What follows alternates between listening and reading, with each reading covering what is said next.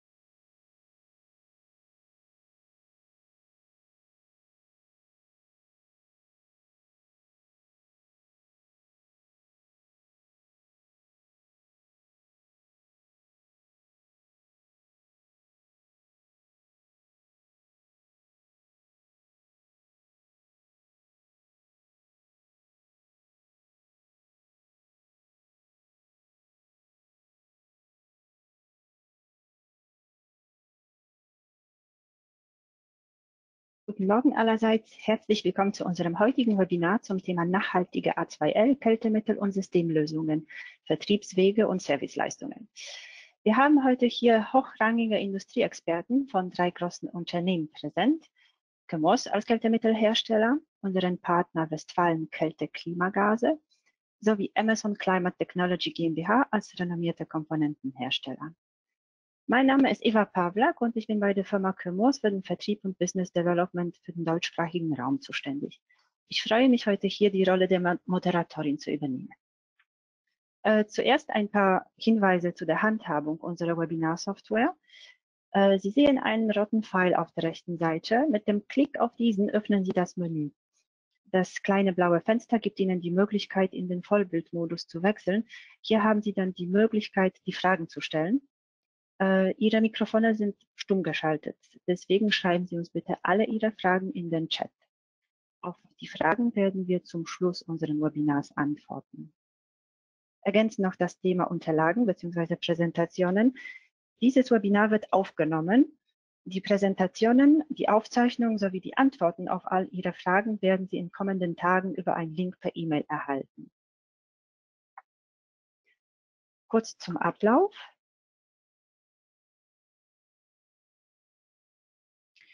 Wir fangen mit Chemos HFO Kältemittelpräsentation an und zeigen Ihnen, wie die Opteon XL Kältemittel im Vergleich zu anderen eine ideale langfristige Lösung zur Maximierung der ökologischen und ökonomischen Vorteile bieten. Anschließend wird unser Partner Westfalen seine Produkt- und Dienstleistungspalette für den sicheren Einsatz von A2L Kältemittel vorstellen. Und zum Schluss wird Amazon seine, neuest, seine neuesten Lösungen für Gewerbekälte mit niedrigen GWP A2L Kältemittel präsentieren. Lassen Sie uns dann anfangen. Als erster wird mein Kollege Hans-Dieter Küper, äh, Techniker, Techniker Marketing Specialist, einen Vortrag zum Thema ökonomische und ökologische Effizienz als Auswahlkriterien für Kältemittel und Anlagekonzepte halten. Ich wünsche allen ein interessantes Webinar.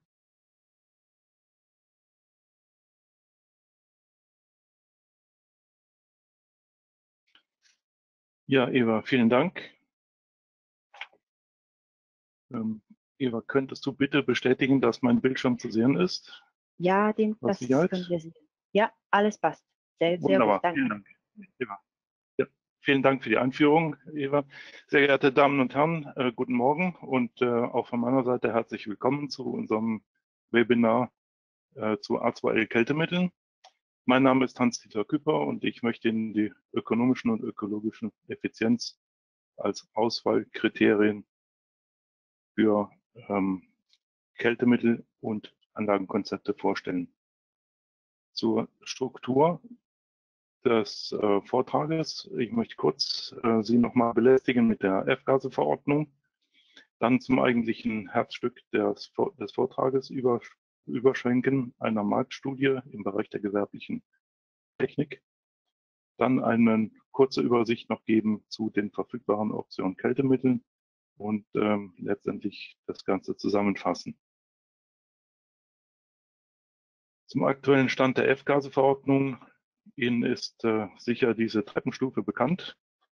Über die Jahre aufgetragen ein mittlerer GWP-Wert, der äh, aufgrund der äh, GWP-Mengenreduzierungen verfügbar ist, beziehungsweise der als maximaler mittlerer durchschnittlicher GWP-Wert über alle Kältemittel und alle Verbrauchsstellen hinweg äh, äh, erlaubt ist. Und wir sehen, dass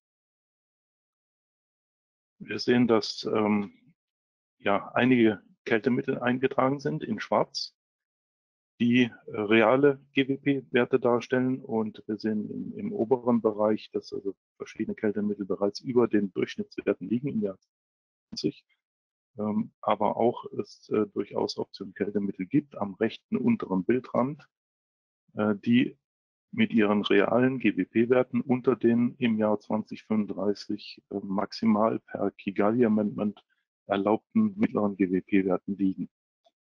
Ähm, das bedeutet, es gibt ähm, Lösungen, langfristige Lösungen, die auch über das Jahr 2035 hinaus erlaubt sind und uns erlauben, unter den mittleren GWP-Werten, die laut Gesetzen erlaubt sind, diese einzusetzen und äh, sogar noch weit darunter zu liegen.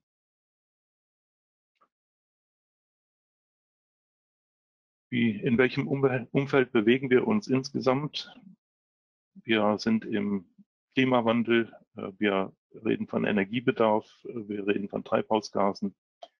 Ähm, hier ist ein Artikel aus ähm, dem Handelsblatt.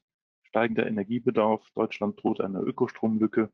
Wir wissen, dass äh, viele Energieverbraucher auf elektrische Energie umsteigen. Es wird ein erhöhter Bedarf bestehen aufgrund dieses, dieser Verschiebung von ähm, fossilen Brennstoffen hin zu elektrischer Energie.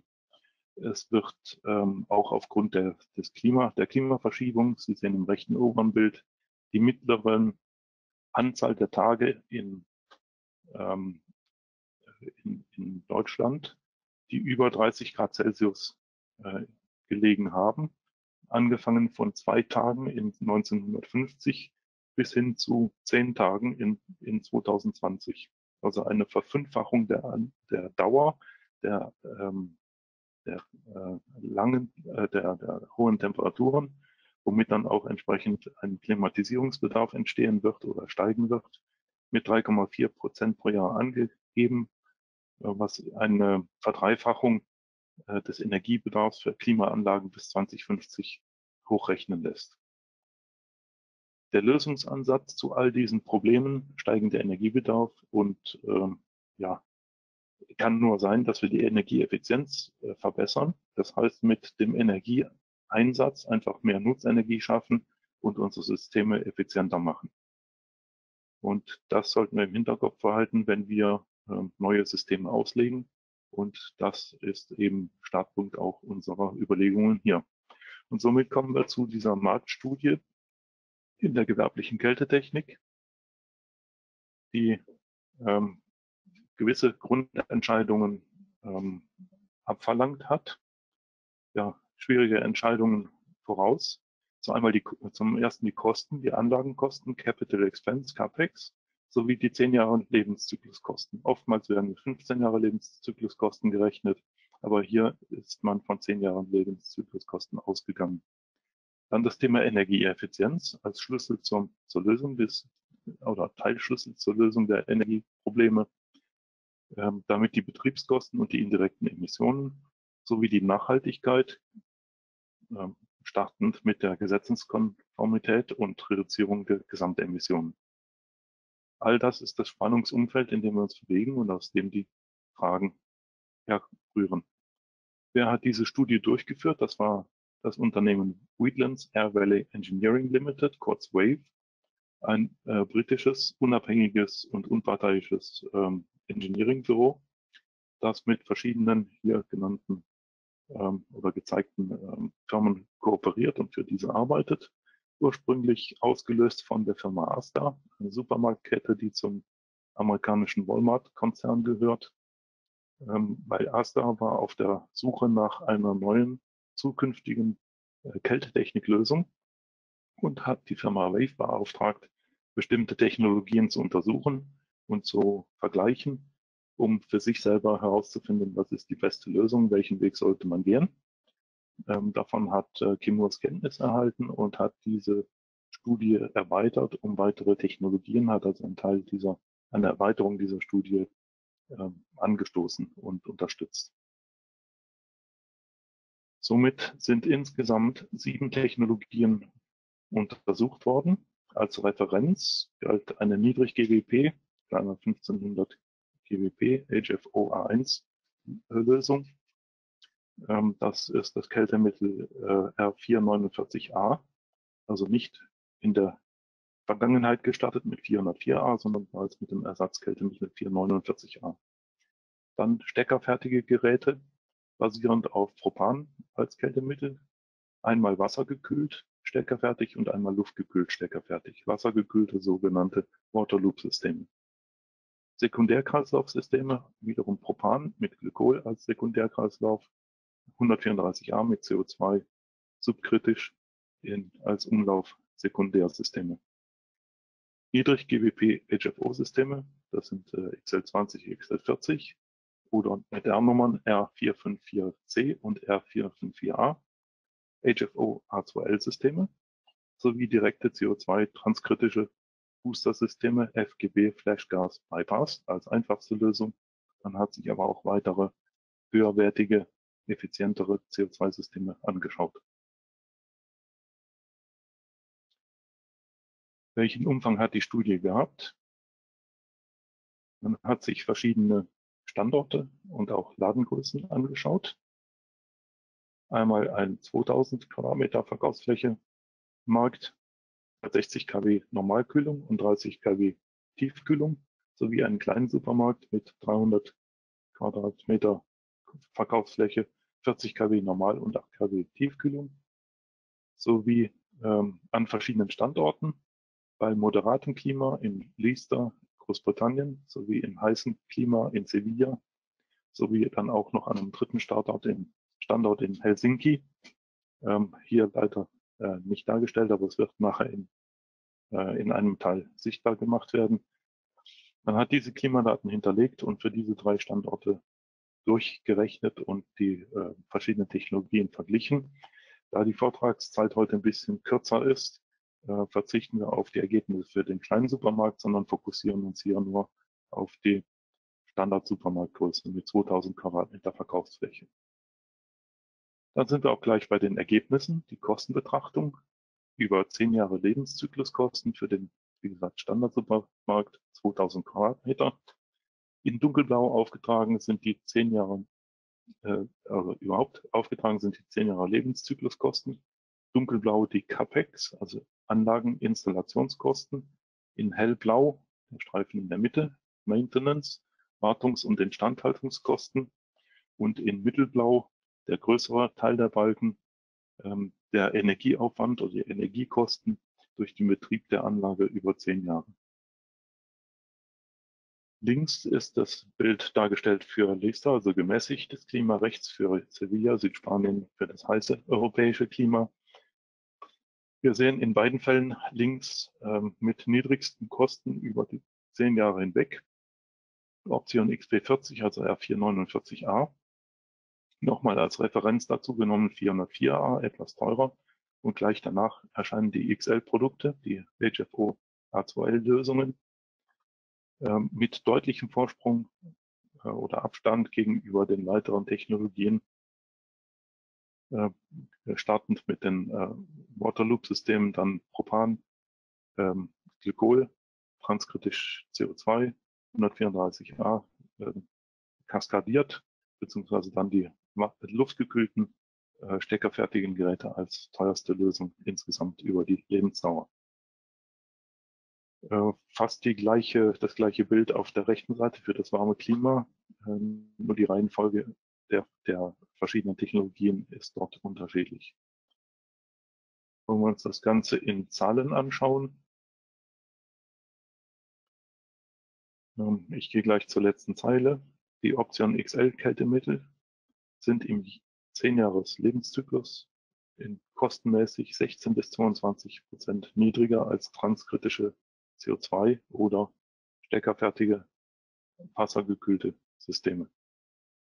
Ja, bei einer Genauigkeit von etwa 5 Prozent von dieser Studie, was äh, Wave belegt hat anhand von Referenzmessungen, äh, kann man also sicher davon ausgehen, wenn hier äh, Differenzen von 16 bis 20, über 20 Prozent äh, errechnet und, und ermittelt wurden, dass da noch Fleisch am, am Knochen ist, ähm, dass wir also hier nicht im Bereich einer Schätzung liegen, sondern durchaus diese Unterschiede realistisch sind und äh, auch mit der Ungenauigkeit solch einer Studie durchaus äh, dennoch ja, die, die Aussage aussagekräftig bleibt. In Betrachtung der Emissionen, Umweltbetrachtung, auch für den großen Supermarkt, links wieder Leicester, rechts Sevilla, Spanien, haben wir die 10 Jahres totalen Emissionen in Tonnen CO2-Äquivalent aufgetragen. In hellblau die direkten Emissionen, in dunkelblau die indirekten Emissionen. Wir sehen also hier ganz links die XL-Produkte mit den geringsten Gesamtemissionen über zehn Jahre. Da sehen wir die schmalen hellblauen ähm, Abschnitte, die im direkten, quasi die den GWP des Kältemittels widerspiegeln spiegeln und die direkten Emissionen darstellen. Der größere Anteil auch hier, äh, wie bei den Kosten, ergibt sich aus den indirekten Emissionen, das heißt den Emissionen erzeugt durch die Energieerzeugung, die für den Betrieb der Anlage notwendig ist. Bei Propan und, und, und CO2 haben wir dann äh, ja nur die indirekten Emissionen durch die Energieerzeugung. Wir sehen den deutlichen Unterschied mit 404a nochmal als Referenz, wo der hohe GWP-Wert durchaus die größten Emissionen ausgemacht hat, also die direkten Emissionen und der Energiebedarf dort ähm, über zehn Jahre den, den geringeren Anteil ausgemacht hat. Ähm, sprich, ähm, wir sind mit diesen Very Low GWP oder sehr niedrig GWP Kältemitteln in einem Bereich, wo der, die direkten Emissionen hinter den Anteil der indirekten über den Energiebedarf der Anlage zurücktreten. Und äh, ja, obwohl nicht natürlich, liegen hier die Gesamtemissionen deutlich unter denen der äh, sämtlicher Wettbewerbsprodukte. Äh, das gleiche gilt für den äh, Standort Spanien. Hier sind die Stufen ein bisschen kleiner, aber ich bitte ja zu beachten, dass die Skala hier rechts unterschiedlich ist gegenüber links. Insgesamt ähm, ist das qualitativ das Bild gleich. Ähm, die am besten abschneiden tun wir wieder die XL-Produkte und ähm, ja, in Zahlen, wenn wir uns das auch gerade anschauen, hier haben die XL-Produkte 20 bis 29 Prozent niedrigere Emissionen als transkritische CO2-Anlagen oder stärkerfertige wassergekühlte, die eigentlich die, den Mainstream von den Technologien her ähm, darstellen. Wir haben uns auch, oder ja, man hat sich angeschaut, Wave hat sich äh, angeschaut, CO2-Reduzierungskosten der äh, CO2-Technologien. Und zwar hat man ins Verhältnis gesetzt die Kosten, die Mehrkosten der neuen Technologie gegenüber Referenz 404a und das bezogen auf die Gesamtemissionen, die man gehabt hätte mit einer 404-Anlage, äh, abzüglich der ähm, Lösung mit der neuen Technologie, also die Reduzierung in den Emissionen und hat damit quasi einen ähm, CO2-relative ähm, Reduzierungskosten ermittelt. Das Ganze hat man gemacht für den Standort Sevilla, Spanien, für Leicester, UK und für Helsinki, Finnland, also heißes, mittleres und kaltes Klima. Für die verschiedenen äh, Technologien Flashgas Bypass, Flashgas Bypass mit internem Wärmetauscher, FGB plus IAX, Parallelkompression sowie Parallelkompression und Ejektor. Und somit haben sich äh, für jeden Standort hat sich eine optimale Technologie ergeben, ähm, die eben ähm, hier im Beispiel von Sevilla Parallelkompression plus Ejektor ist. Also der höchste Aufwand, Parallelkompression in Lister und mit internem Wärmetauscher für Helsinki, Finnland. Und diese äh, opt jeweils optimale CO2-Technologie hat man dann in Vergleich gesetzt zu der ähm, jeweiligen ähm, XL-Produkte, also A2L-Lösung. Das ist nun hier dargestellt. Linker Hand ist dargestellt die 10 Jahres Gesamtemission und rechts die 10 Jahres Lebenszykluskosten. Wir sehen wieder dargestellt für die verschiedenen Klimastandorte ähm, Sevilla, Spanien. Dort schneiden also die XL-Produkte wieder deutlich günstiger ab in den Emissionen gegenüber ähm, den jeweils besten CO2-Technologien. Ähm, das gleiche gilt für die Lebenszykluskosten im jeweiligen Standort gegenüber der optimalen, lokal optimalen Technologie. Ähm, Ergebnis, die Gesamtemissionen liegen äh, bis zu 20 Prozent niedriger in Sevilla, bis zu 18 Prozent in Riesta und immer noch bis zu 12 Prozent in Helsinki. Die ähm,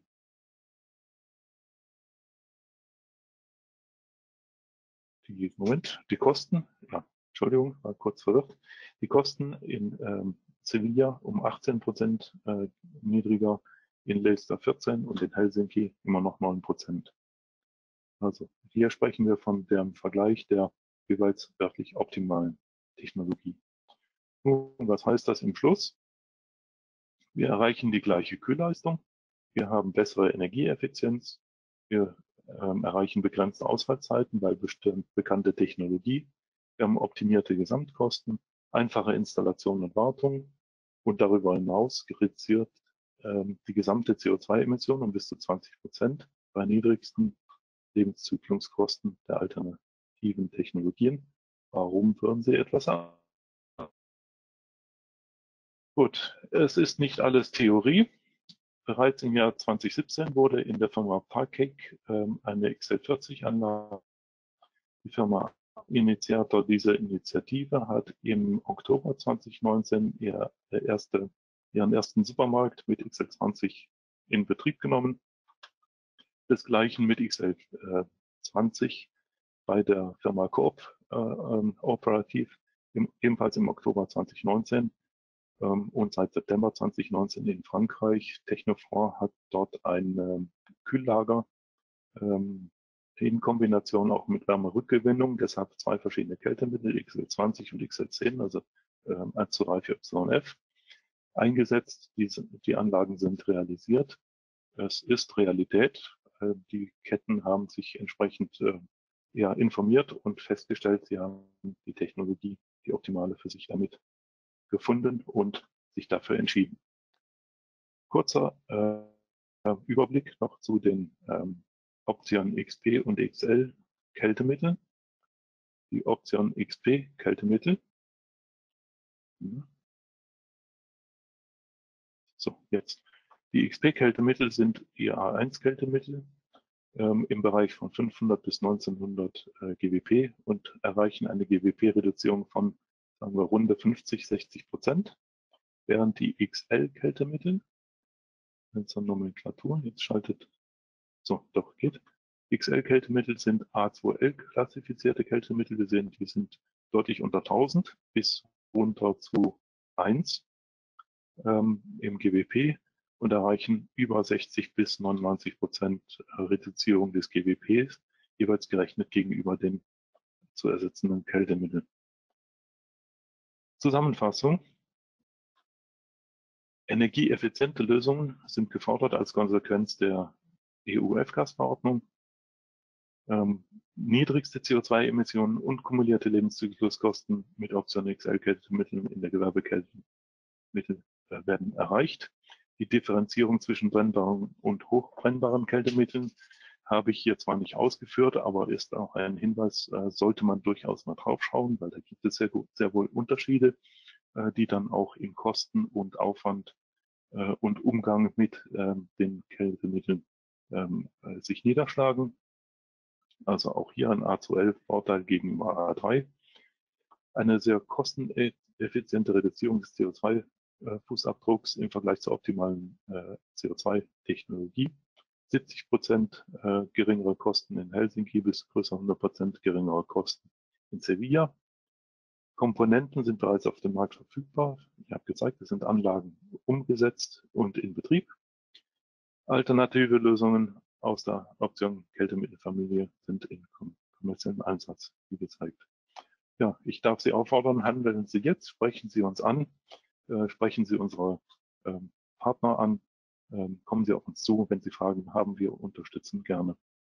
Damit bin ich am Ende meines Vortrages und danke für Ihr Interesse und äh, darf damit zurückgeben an meine Kollegin. Vielen Dank. Vielen Dank, Hans-Dieter, für einen sehr interessanten Vortrag. Äh, noch ganz kurz zur Erinnerung, bitte schreiben Sie alle Ihre Fragen in den Chat. Ich sehe, ein paar Fragen sind bereits gekommen. Äh, die werden wir zu, zum Schluss der Veranstaltung gemeinsam antworten. Äh, jetzt folgt der Vortrag zum Thema Kältemittelprogramm, Vertriebspartner und Serviceleistungen der Westfalen-Gruppe, präsentiert durch Herrn Marius Appenzeller, Market Manager Kälte Klima. Ähm,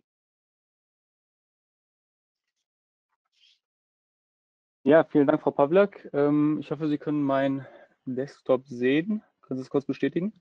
Ja, wir können Perfekt. sehen. Dankeschön. Ja, auch ähm, von meiner Seite ähm, herzlich willkommen. Mein Name ist äh, Marius Appenzeller. Ich habe Ihnen ein äh, kleines Foto mal zur Verfügung gestellt, damit man auch zur Stimme ein, ein Bild hat. Äh, ist bei Webinaren ja leider nicht immer ganz gegeben. Ich bin ähm, seit April letzten Jahres der strategische Marktmanager äh, für Kältemittel bei der Westfalen AG und damit äh, unter anderem verantwortlich für die Markteinführung und Implementierung neuer Produkte. Mein äh, Vortrag äh, wird im Wesentlichen die folgenden fünf Themenbereiche abdecken. Ähm, einsteigen werde ich mit einer kurzen Vorstellung der Westfalen AG, ähm, in welchen Bereichen und in welchen Ländern wir tätig sind. Ähm, hierbei wird von der europäischen Brille ausgehend aber ein Fokus auf den Kernmarkt Deutschland gelegt. Anschließend äh, stelle ich das Produktsortiment im Bereich Kältemittel äh, und auch unsere damit verbundene Philosophie vor. Ähm, in der Darstellung des Dokuments versuchen wir auch eine Idee zu geben, in welchen Bereichen wir glauben, ähm, dass die neuen Kältemittel Anwendung finden können. Um ähm, genau dies an einem praktischen Beispiel zu zeigen, äh, werde ich anschließend auf eine Case Study eingehen, die eine Anwendung des Produkts 454C im Bereich einer Großküche zeigt. Abschließen möchte ich mit einer Vorstellung der Initiative Kollektiv. Ich zeige beispielhaft, welche von der Initiative ähm, entwickelten Maßnahmen oder Lösungsvorschläge ähm, für den Markt entwickelt wurden. Die Westfalen AG ähm, wurde 1923 in Münster gegründet und äh, ist inzwischen neben dem Kernmarkt Deutschland in sieben weiteren Ländern tätig. Ähm, das Unternehmen ist dabei in, in drei Divisions aufgeteilt. Äh, neben der Energieversorgung äh, betreibt die Westfalen AG das größte privat geführte Tankstellennetz Deutschlands. Und ähm, der dritte große Bereich ist halt eben der Bereich Gase, äh, worunter wir neben Industrie- und Medizingasen auch eben Spezialgase und die heute thematisierten Kältemittel bündeln. Ähm, gar nicht groß eingehen möchte ich auf die, auf die Key Facts der Westfalen AG. Vielleicht da ein kurzer, ähm, kurzer Hinweis auf die Investitionen, die halt auch eben im Bereich Kältemittel und in die Zukunft des Bereichs äh, getätigt werden, um da ähm, vorbereitet zu sein auf die, auf die brennbaren Kältemittel, die wir immer mehr im Markt sehen werden. Ähm, wie schon leicht angedeutet. Die Westfalen AG ist nicht nur in Deutschland unterwegs, sondern ähm, praktisch in ganz Mitteleuropa mit eigenen Tochtergesellschaften, Niederlassungen und Werken. Ähm, praktisch ganz Europa können wir im direkten Vertrieb beliefern. Ähm, dabei ist unsere größte Stärke die Logistik. Mit 14 Logistikzentren und über äh, 230 Flaschen-Lkw können wir ein hohes Maß an Flexibilität und äh, Geschwindigkeit anbieten und sind dabei aber mit 480 Vertriebspartnern europaweit äh, auch vor Ort für unsere Kunden da. Das runtergebrochen auf Deutschland ähm, zeigt, dass wir mit ca. 300 Vertriebspartnern im Kerngebiet eine sehr engmaschige ähm, Vertriebsstruktur haben und ähm, schnell und flexibel reagieren können, was halt auch eben für die Implementierung der heute angesprochenen A2L-Kältemittel äh, überaus wichtig sein wird aus unserer Sicht. Die Philosophie, die Westfalen im Bereich Kältemittel vertritt, ist die des Vollversorgers. Neben halt Kältemittel als sich ähm, liefern wir auch die technischen Gase oder Wärmeträger für beispielsweise Sekundärsysteme oder auch im Trockeneis zur Zwischenkühlung von Ware. Ähm, wir bieten darüber hinaus die Aufarbeitung äh, für unsere Kunden an und im ja, Worst Case, falls notwendig, auch die Entsorgung. Sollen der Vollanbieter für den Kälte-Klimafachbetrieb sein. Aber was ist, was ist der Grund, äh, was beschäftigt uns aktuell als, als Kältelieferant? Was sind die Herausforderungen? Ähm, Im Wesentlichen wenn man mal so leicht die, die Brille zurücknimmt, und äh, Herr Küpper hat es ja gerade auch schon mit dem Face-Down angesprochen, ähm, haben wir in den letzten ja, zwei Jahren illegale Einfuhren in der EU äh, gesehen, die auch weiterhin Anwendung finden. Ich weiß nicht, vielleicht haben Sie es gesehen, in der äh, aktuellen Cooling Post wieder ein Bericht über illegale Mengen. Und ähm, die haben natürlich einen erheblichen Effekt auf den, auf den Face-Down. Ähm, gleichzeitig sehen wir aber auch positive Effekte in, in mehr Investitionen mit Anlagen mit natürlichen Kältemittel oder Low-GWP-Kältemittel, ähm, was sehr ja, dem Sinn des Face-Downs entspricht. Die vorgeschriebenen Dichtheitskontrollen zeigen auch äh, bessere Wirkungen unserer Meinung nach. Ähm, und all dies hat dazu geführt, dass wir eine höhere Verfügbarkeit und äh, niedrigere Preise als noch vor, vor wenigen Jahren äh, im Bereich der klassischen Kältemittel sehen. Die Frage, äh, die man sich da durchaus stellen könnte, ist, ja, warum sollen wir denn, warum soll denn überhaupt umgestiegen werden auf, auf ein A2L oder ein A3 ähm, oder ein B2L Kältemittel im, im Fall von Ammoniak? Wir glauben, dass es äh, ein kurzzeitiger Effekt ist, der ähm, der mit der Zeit verpuffen wird, weil 2021 wird der nächste Schritt im Facedown passieren. Und wenn man sich die Incumbent-Quoten anguckt, ähm, hier habe ich die, die Daten vom äh, Carsten Schwinnesen herangezogen, die er in der KK äh, Januar-Ausgabe 2019 veröffentlicht hatte. Ähm, wenn man sich die Incumbent-Quoten anguckt, äh, werden sie effektiv eben nicht auf, ähm, auf ja, 45 Prozent, sondern auf 28 Prozent sinken. Das heißt, die klassischen Kältemittel, ähm, ja, Importeure äh, und, und, Hersteller, die, die das Kältemittel auf den europäischen Markt platzieren, äh, sind drastisch betroffen im, im kommenden Jahr. Und ähm, wir glauben, dass eine Versorgungssicherheit äh, mit klassischen Kältemitteln nicht unbedingt garantiert werden könnte. Ähm, da das ist viel Spekulation. Es gibt viele Faktoren, die da äh, dazu beizählen. Das, das, ist uns auch bewusst, aber wir haben auch äh, das Jahr 2017, 2018 erlebt äh, mit dem ganzen Hin und Her und äh, müssen einfach auch äh, diese Option betrachten, dass es da wieder zu Problemen kommen könnte, die, die keiner von uns möchte. Ähm, am Ende des Tages ist die, die Lösung, dass wir einen niedrigeren Durchschnitts-GWP äh, in unseren Anlagen verwenden. Und ähm, desto höher oder desto niedriger der Durchschnitts-GWP, desto höher ist die Versorgungssicherheit. Ähm, Im Prinzip das, was der Herr Küpper auch in der, seiner Grafik gezeigt hatte. Ähm, dabei ist auch ganz eindeutig, dass mal abgesehen von, von CO2 wir an der Brennbarkeit äh, von Produkten eigentlich nicht vorbeikommen und uns dementsprechend zwanghaft mit dem Thema beschäftigen müssen. Wie wirkt sich das auf das Produktportfolio aus? Ähm, der Ansatz des Vollversorgers, den ich vorhin beschrieben habe, finden Sie auch hier wieder. Äh, wir haben neben den klassischen, klassischen Kältemitteln auch als, äh, als frisch oder eben auch als aufgearbeitete Ware ähm, auch die Retrofit-Kältemittel und die heute thematisierten A2L-Kältemittel. Ähm, das Beispiel 454C ähm, und für die Tiefkühlung und 4, äh, 513a für die Normalkühlung werde ich später nochmal im Rahmen von einer Case Study, die wir begleitet haben, ansprechen. Kohlenwasserstoffe, ähm, CO2 als Kältemittel 744 und Ammoniak runden da unser Vollsortiment ab. Aber ähm, das ist uns auch ganz wichtig. Wir als Westfalen AG verstehen uns als technologieneutral. Ähm, also da könnte man sich ja die Frage stellen, okay, natürliche Kältemittel ähm, haben ja den geringsten GWP.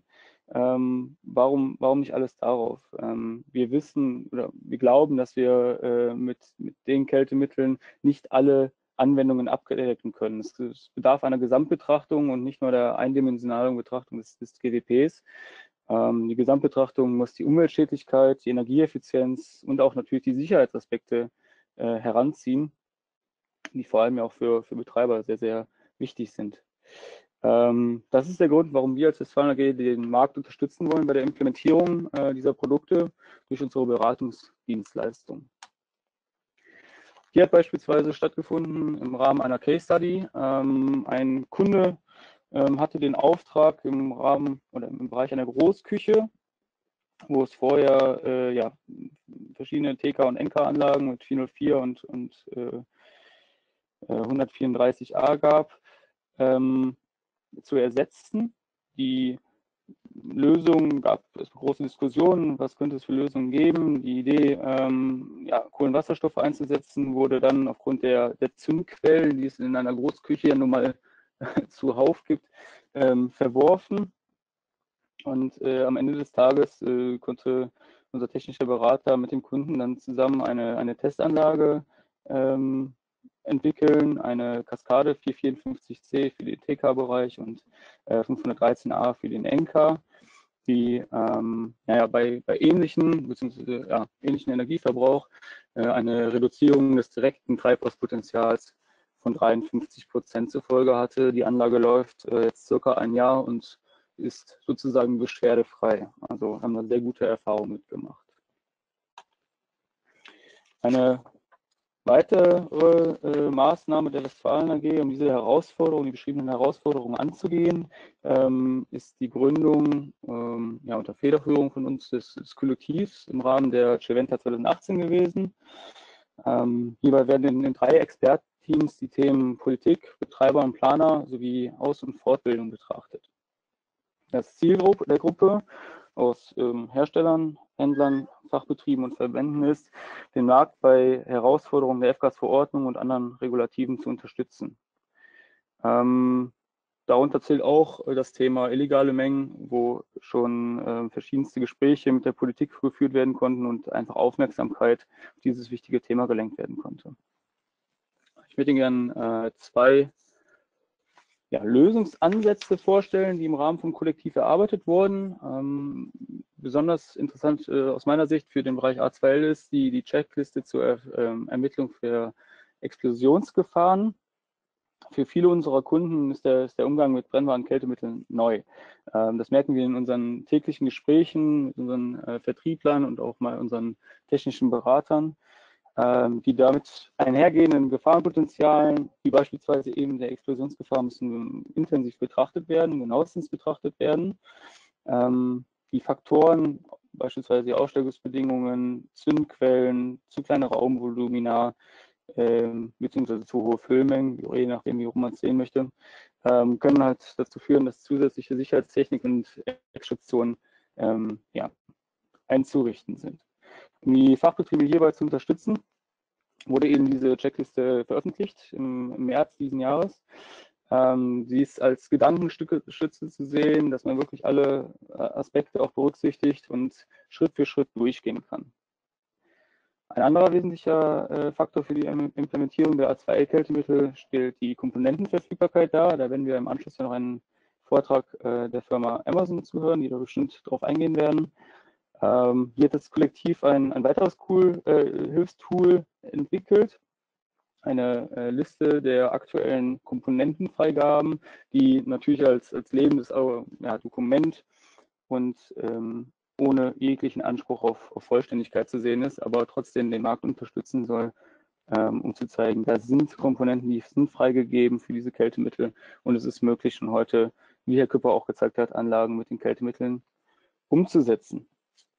Die gezeigten äh, Hilfstools finden Sie auch in der Follow-up-Mail zu diesem Webinar, ähm, aber auch auf unserer Westfalen Wissensdatenbank, wo Sie herzlich eingeladen sind, äh, mal rumzustöbern. Ich denke, wir haben da viele interessante ähm, Tools und Berichte eingestellt, die Sie dabei unterstützen können. Zum Schluss möchte ich Ihnen noch äh, Christine Wacker vorstellen, ähm, Kälteexpertin in unserem Vertriebsinnendienst.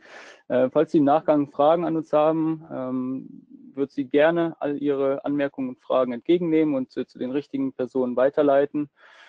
Und ähm, damit bin ich am Ende meiner Präsentation und möchte mich für Ihre Aufmerksamkeit bedanken. Vielen Dank, Herr Appenzeller, für einen sehr interessanten Vortrag. Dankeschön. Wir kommen jetzt zu unserer dritten Präsentation.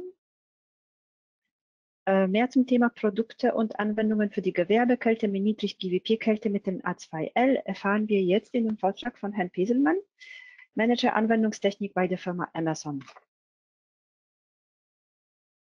Ja, guten Tag. Ähm, können Sie kurz bestätigen, ob Sie mich hören und den Screen sehen? Ja, das können wir. Alles gut. Wir können Sie hören und Okay. auch Ihre Präsentation auf dem Bildschirm sehen. Dankeschön. Prima. Ähm, guten Tag zusammen.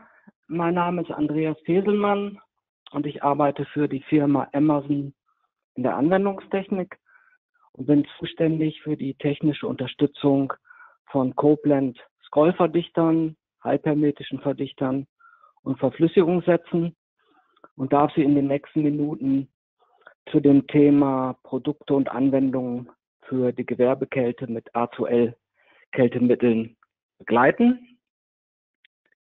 Zur Vorstellung der Firma Amazon. Ähm, die Firma Amazon Commercial and Residential Solutions in Europa ist zuständig für die Kälte- und Klimatechnologie. Zu den Hauptgeschäftsfeldern gehören die Gewerbekälte, die Gebäudeklimatisierung und Automatisierung sowie die Wärmepumpentechnologie.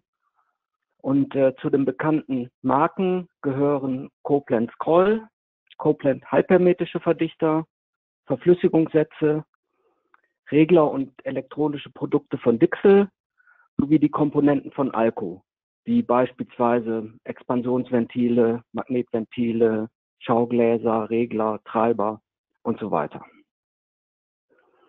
In dem äh, Geschäftsbereich von Amazon arbeiten etwa 3100 Mitarbeiter.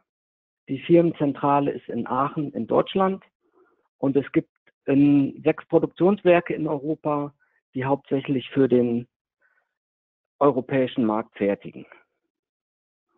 Amazon unterstützt die Kunden bei der Entscheidungsfindung, um Ziele zu erreichen, Komponenten auszuwählen und Lösungen zu erarbeiten.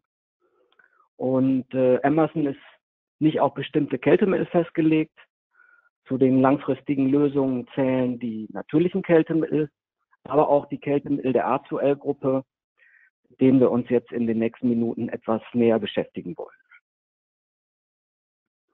Die Einsatzmöglichkeiten von A2L-Verdichtern und Komponenten in der Gewerbekälte sind sehr vielfältig.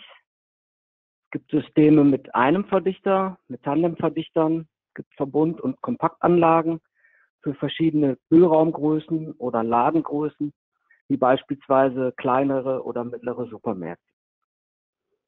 Es gibt äh, Aggregate für Kühlzellen und Kühlräume sowie Verflüssigungssätze zur Innenausstellung oder zur Außenausstellung.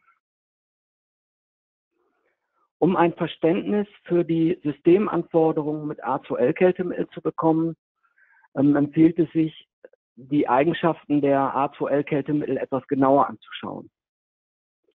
Die Drucklage des Kältemittels ist beispielsweise ein wichtiger Parameter für das generelle Systemverhalten oder die Leistung. Neben der Kälteleistung und Effizienz, die natürlich auch wichtige Vergleichsparameter sind, gibt es aber auch andere Eigenschaften, wie beispielsweise den Massenstrom, den Temperaturgleit und die Druckgastemperatur.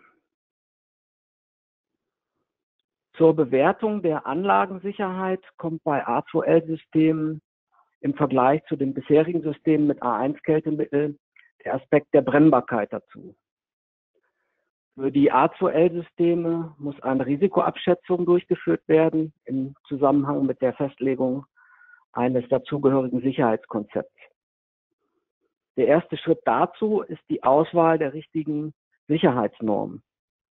Die EN 378 beispielsweise ist eher als generelle Sicherheitsnorm zu verstehen.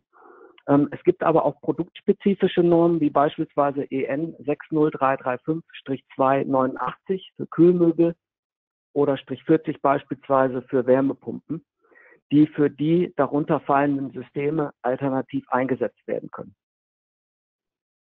Bei den Aspekten ähm, zum Umgang mit A2L-Kältemitteln in den Sicherheitsnormen ist, gibt es einen wichtigen Punkt, das ist die maximale Kältemittelfüllmengenberechnung. In der EN 378-1 beispielsweise wird genau festgelegt, wie man die maximalen Füllmengen berechnen kann. Die Berechnung der zulässigen Kältemittelfüllmenge steht in direktem Zusammenhang mit den Maßnahmen zur Risikominimierung. Im Prinzip geht es darum, zu vermeiden, dass sich in einem Raum eine Kältemittelkonzentration aufbaut, die zündfähig ist. Das kann man vermeiden, indem man zum einen die, entweder die Kältemittelmenge verringert oder eine besondere Dichtigkeit des Systems herstellt. Andere Maßnahmen zielen eher auf die Zündquellen ab. Also beispielsweise die Identifizierung und der Umgang mit Zündquellen. Das Diagramm ähm, auf dieser Folie gibt ein Beispiel zur Berechnung der Füllmengen für das Kältemittel 454c, jetzt beispielsweise nach der EN 378-1, ähm, für Anlagen, die in öffentlich zugänglichen Räumen aufgestellt sind. Die Berechnung und auch die Darstellung in diesem Diagramm ähm, hängen ab einmal von der Raumgröße, der Kältemittelkonzentration im Raum und der zusätzlich getroffenen Maßnahmen zur Risikominimierung. Zum Beispiel durch das Einbauen zusätzlicher Ventilation, Sicherheitsabsperrventile, das Etablieren von Alarmschaltungen und, und so weiter. Die maximalen Füllmengen dabei für 454C ergeben sich ähm, zu 1,7, 11, 36 oder 57 Kilogramm, je nach Ausführung des Systems und nach zusätzlich getroffenen Maßnahmen. Es gibt eine ganze Reihe neuer Verdichterbaureihen für A2L-Anwendungen. Ähm, die Scrollverdichterbaureihe YB beispielsweise ist für Normalkühlung konzipiert. Ähm, es gibt die Variante YBD mit digitalen Scrollverdichtern zur Leistungsregelung, auch für Normalkühlung. Und diese Baureihen wurden, wurden für eine ganze Reihe von verschiedenen A2L-Kältemitteln qualifiziert. Der Leistungsbereich liegt etwa zwischen 3 und 13 kW bei Normalkühlbedingungen das heißt bei minus 10 Verdampfung und 54 Grad Verflüssigung. Es gibt weitere Scrollverdichter-Baureihen, wie beispielsweise die YF-Baureihe für Tiefkühlung oder die YH-Baureihe für Wärmepumpenanwendungen und Klimaanwendungen.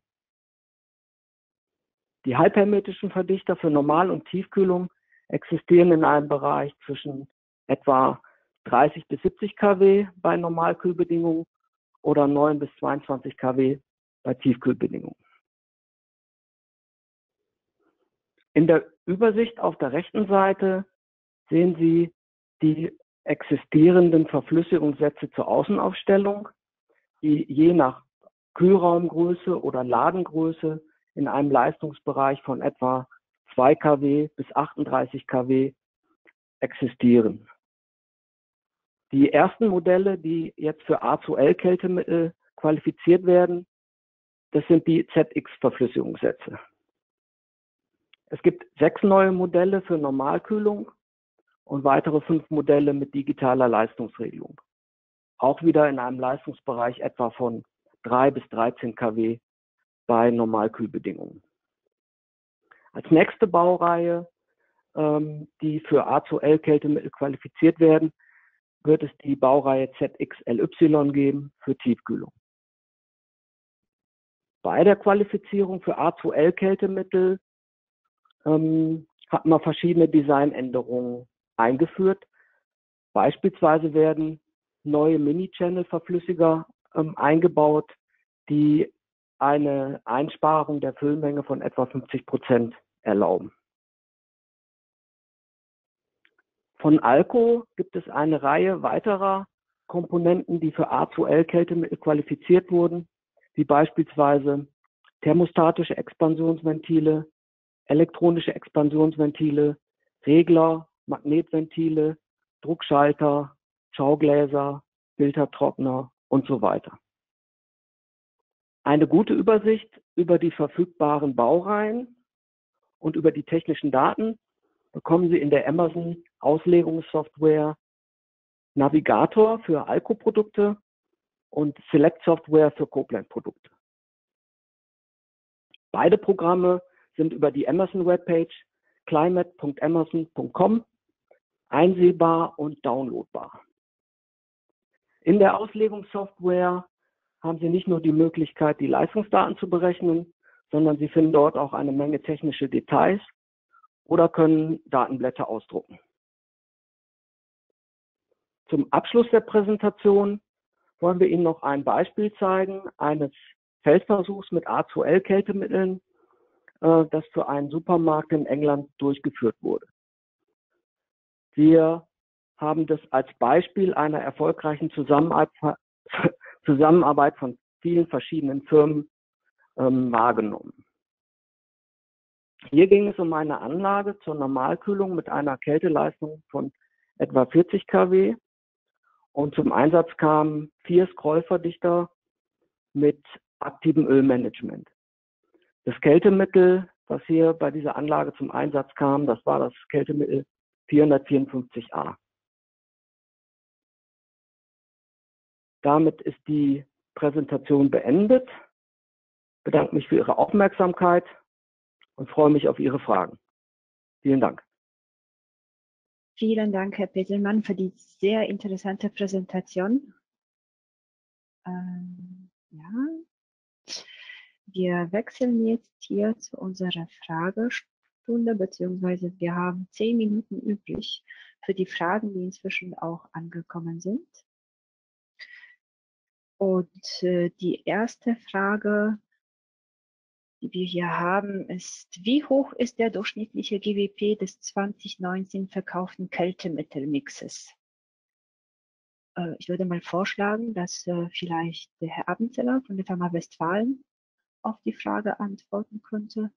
Ja, sehr gerne. Ähm, ehrliche Antwort kann ich aus dem Stegreif nicht sagen, ähm, aber zu hoch. äh, was wir 2019 gesehen haben, ist ganz klar, dass der Trend wieder dazu ging, dass klassische Kältemittel aufgrund der relativ niedrigen Preise und der äh, hohen Verfügbarkeit vermehrt gekauft wurden. Ähm, dadurch kann es einfach nur, äh, wenn man diese Durchschnitts-GWPs, die mal betrachtet wurden, ähm, heranzieht, kann es nur sein, dass der Durchschnitts-GWP der verkauften Menge 2019 ähm, zu hoch ist. Und ich denke, dass da, dass es auch ähm, repräsentativ ist für, für den ganzen Markt. Also ähm, diese Tendenzen hat eigentlich jeder gespürt und gesehen im letzten Jahr, ähm, dass da noch sehr, sehr viel ähm, der klassischen Kältemittel bezogen wurde mit einem hohen GWP. Vielen Dank. Noch eine kurze Anmerkung äh, an alle Teilnehmer. Sie können Ihre Fragen dann in den Chat schreiben. Falls wir jetzt heute nicht dazu kommen sollten, Ihnen auf die Fragen Antwort zu geben, das alles wird zusammengefasst und einen Link mit den Antworten zu den Fragen werden Sie dann in den kommenden Tagen per E-Mail erhalten. Ja, wir haben dann die nächste Frage. Welche sind die wichtigsten Punkte, die bei einem Vergleich von A2L-Kältemitteln mit anderen Kältemitteln zu berücksichtigen sind?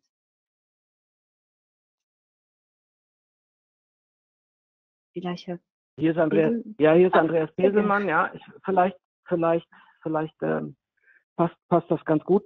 Ähm, also bei dem Vergleich der Kältemittel, ähm, ich habe das in der kurzen Präsentation auch schon gezeigt, da gibt es natürlich die individuellen Eigenschaften der Kältemittel, die man sich genauer an, angucken sollte. Also die Drucklage, äh, Kälteleistung und so weiter. Das ist natürlich klar. Ähm, Generell ist es so, dass der GWP-Wert natürlich so niedrig wie möglich sein sollte und die Effizienz der Anlage so hoch wie möglich. Das, das, das wären so die, die, die ersten wichtigsten Punkte. Ähm, man könnte sich auch noch den CO2-Fußabdruck angucken, also die, die indirekte und die direkte Beiträge zum Treibhauseffekt, also den CEWI-Wert. Ähm, ja, und vielleicht könnte man, könnte man im, im Bezug auf A2L-Systeme noch einen Punkt nennen, der vielleicht auch als Vorteil für A2L-Kältemittel gereicht. Das ist, viele Anlagenbauer legen sehr viel Wert auf die Beherrschbarkeit der Technik, auf, auf, auf, auf äh, äh, Komplexität, also weniger Komplexität der Anlage. Und da ist es tatsächlich so, dass die A2L-Systeme sehr nah an den, an den technischen Eigenschaften, an dem Aufbau und der Funktion der A1-Kälte mitliegen. Das wäre vielleicht auch noch so einer der, der großen Vorteile von A2L. Vielen Dank für die Antwort. Äh, die nächste Frage lautet, wurde die direkte Emission aus den erlaubten Leckraten ermittelt? Das ist die Frage an meinen Kollegen Hans-Dieter Küpper, weil das resultiert aus der Präsentation, die wir gezeigt haben.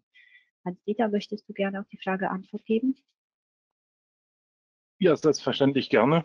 Ähm, ja, die direkten Emissionen ähm, sind aus den erlaubten Leckraten ermittelt. Und die Leckraten, die angenommen wurden in der Studie, waren fünf Prozent für die synthetischen Kältemittel. Aber äh, selbst bei höheren Leckageraten, selbst bis zu 15 Prozent, ähm, ergibt sich immer noch ein Vorteil der XL-Produkte gegenüber den anderen Technologien von über 10 Prozent. Ähm, ich würde aber auch gerne äh, vielleicht noch eine Ergänzung geben zu der Frage, wie hoch ist der mittlere GWP-Wert der verkauften Kältemittel in 2019. Ähm, da ist ein wesentlicher Aspekt bisher heute noch nicht angesprochen worden. Das sind die illegalen Kältemittel, ähm, die importiert werden und die nicht in den, in den Quota sind. Ähm, die machen natürlich ähm, das Bestreben der F-Gas-Verordnung ähm, quasi zunichte. Und als Anhaltspunkt kann man ähm, sich da merken, die Menge ähm, illegales Kältemittel äh, multipliziert ähm, mit dem GWP ergibt in etwa die gleiche Menge äh, wie das, was illegal äh, gehandelt wurde.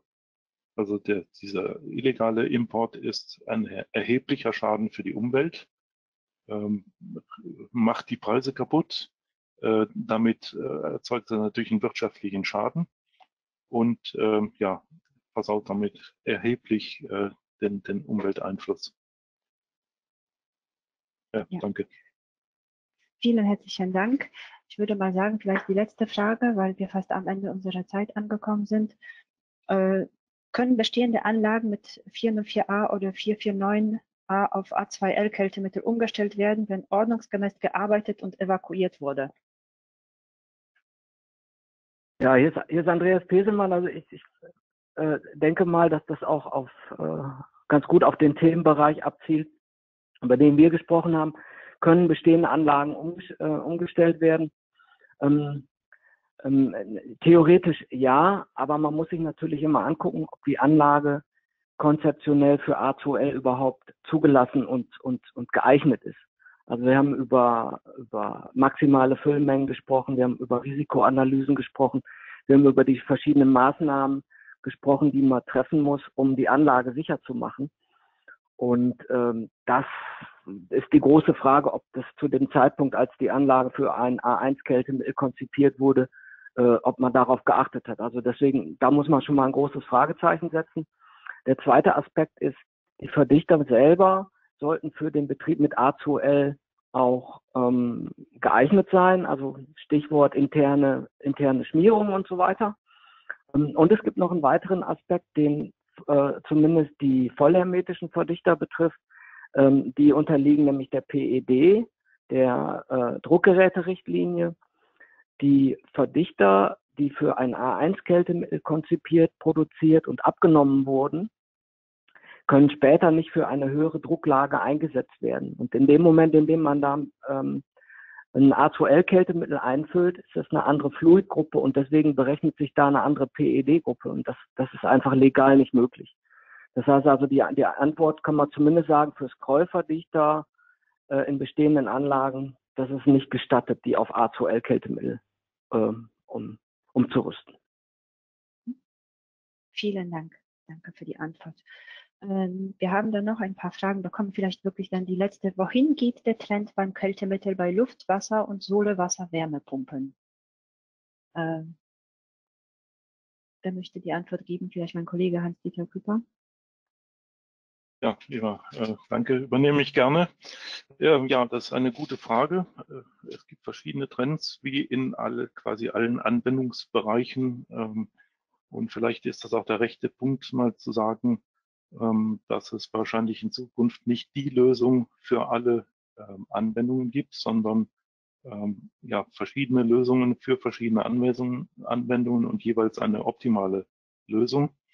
Ähm, bei Wärmepumpen ähm, versucht man es genauso wie im kommerziellen, äh, in der kommerziellen Kälte, äh, so lange wie möglich mit dem bestehenden und bewährten zu fahren. Ähm, gewisse Bestrebungen gehen natürlich in, in Richtung Propan.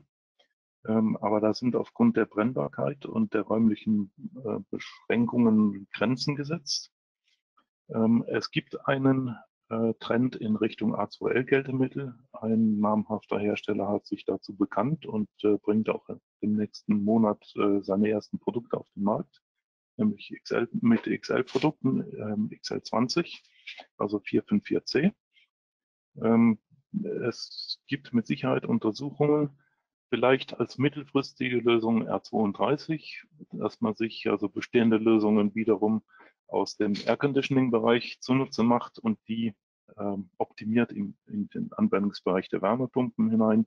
Aber langfristig äh, werden A2L-Kältemittel sicher eingesetzt werden, ähm, weil sie auch wie im kommerziellen Kältebereich ähm, effizient sind.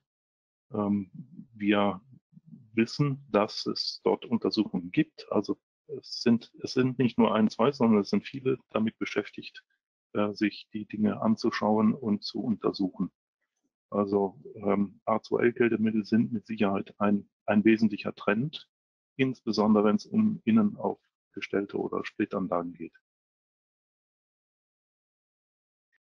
Vielen Dank, Hans-Dieter. Danke für die Antwort. Äh, wir haben noch mehrere Fragen erhalten, aber wie gesagt, die Antwort auf diese werden wir Ihnen dann schriftlich geben und äh, als ein Link zur Verfügung stellen. Die Präsentationen sind auch aufgezeichnet worden. Diese werden Sie ebenfalls bekommen. In den kommenden Tagen erhalten Sie dann eine E-Mail von uns. Für heute Zeit müssen wir leider das Webinar beenden. Ich bedanke mich ganz herzlich für Ihre Aufmerksamkeit. Wir hoffen, dass die Inhalte für Sie interessant waren und bei allen weiteren Fragen sprechen Sie uns gerne an. Ich wünsche allen einen schönen sonnigen Tag und bis zum nächsten Mal.